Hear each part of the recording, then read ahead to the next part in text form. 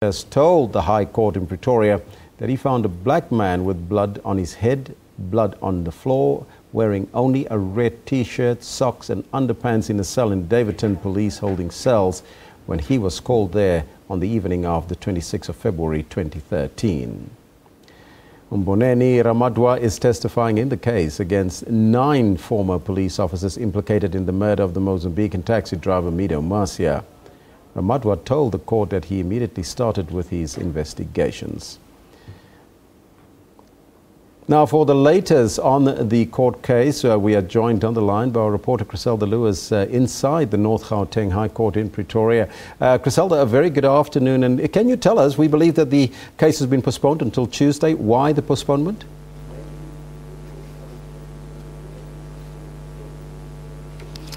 Well, Elvis, very good morning to you. Just to bring you up to speed with the latest, that the case has been postponed to Monday to allow for the defense to prepare for cross examination. Certainly, very chilling details that emerged in the North Gauteng High Court this morning. You would recall that uh, Dr. Solly Skosana, who conducted a post mortem on Mido Macia, testified in court this morning, giving really graphic details of what he found when he conducted that post-mortem. Essentially, what Dr. Skosana is saying is that Miromat Macia died as a result of extensive injuries uh, to the soft tissue and uh, a blunt force on the brain, and that those injuries had led to a lack of oxygen and uh, certainly uh, graphic details about uh, some of the other injuries that he sustained. Essentially, uh, what we heard inside this court this morning is that Mido Macia had sustained injuries basically from head to toe uh, as a result of the dragging incident back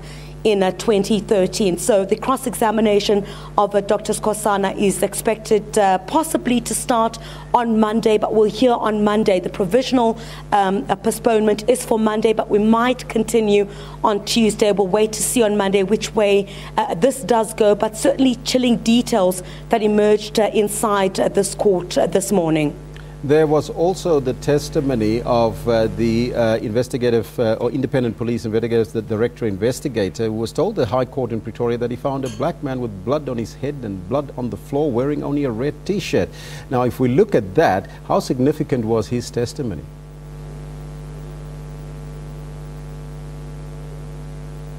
Well, Elvis, I'm really struggling to hear you at this stage. There's a bit of, a bit of an echo there, but if, uh, if I heard you correctly, yes, earlier there was uh, one of the investigators from the Independent Police Investigative Directorate uh, who did testify, essentially saying that uh, when he was called uh, to the scene uh, in the evening uh, of uh, the day of the incident, he found that Mido Macia was lying inside the cell. He was facing up, and that there had been some blood that had been on the walls and also on the floor next to Mido Macia, and also that there'd been blood on his head as well. So that was one of the investigators who had attended attended to the scene on that evening. So, really, essentially, what we will see in cross examination now is that the defense will try and poke some holes into the testimony that Dr. Solly Skosana gave inside this court this morning and really trying to establish what uh, indeed could have led to the, to the death of Mido Macia back in 2013.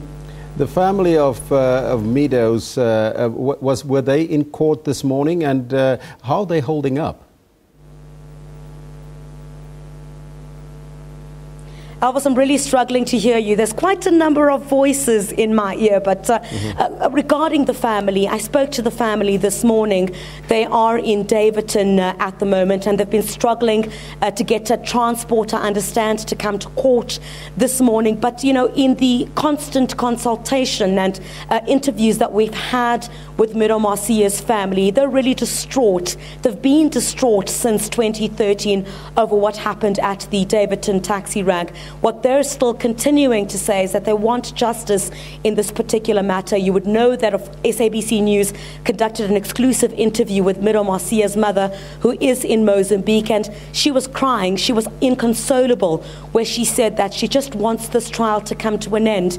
She just wants justice for her son, and that, you know, every time this court case sits, She would try to get information from some of the friends and family who are in Johannesburg. And every time that reopens those wounds, she says that uh, Mosia was their breadwinner and life has been very difficult without him. He was the one who put food on the table, you know, making comparisons also to Mido Mosia's son, saying that Mido Mosia's son, you can see even in his early age, uh, you know, is following the footsteps of his late father uh, in showing concern for the family. And also, they're hoping that there would be some kind of finality to this case very soon. We heard yesterday when we spoke to the state, they said that, look, these proceedings are unlikely to last more than three weeks. So certainly it remains to be seen uh, how the case continues either on Monday or on Tuesday.